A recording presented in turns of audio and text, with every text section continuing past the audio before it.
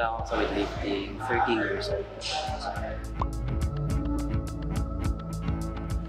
Naging passion ko yung weightlifting noong 2020, ah, 2019 na nagsimula yung SEA Games sa Manila.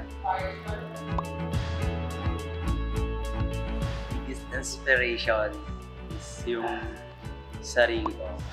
Sarili ko lang ang nagpapa-inspire sa dream ko. Kasi ako lang yung nagpo-push.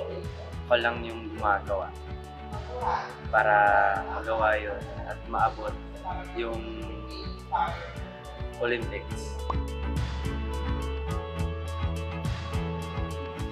The biggest challenge is mga injuries. Nagpapa-recover pa rin. Then, nagpapa-check up sa hospital.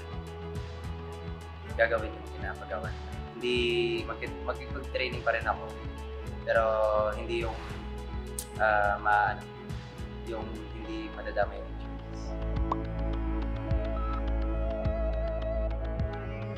Siyempre, masaya ako sa, ano, na akong pangatlong Cebuano na Olympian na may history ka talaga. Sobrang saya. Thank you, Saf, na, na dun ka. Kasi pag, ano, pag hindi ako nagbubuhat noon, parang wala. Swerte pa rin na nasasanay.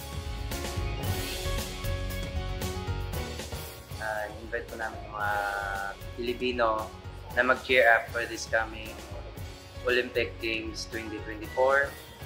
I hope na i-cheer nyo kami.